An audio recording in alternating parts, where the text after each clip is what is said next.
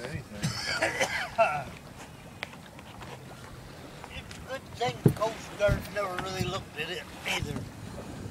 I mean, for ribs, and had a quarter lead flat weight.